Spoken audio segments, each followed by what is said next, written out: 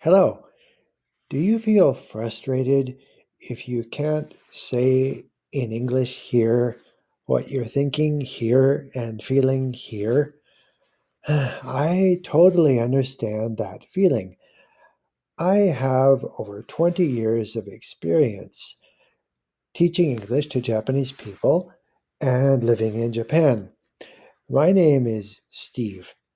I'm American and I live in America. I really want to help you to develop your English skills. So please come to my English class soon and let's develop those skills together. Look forward to seeing you. Thank you very much. Thank you for your time.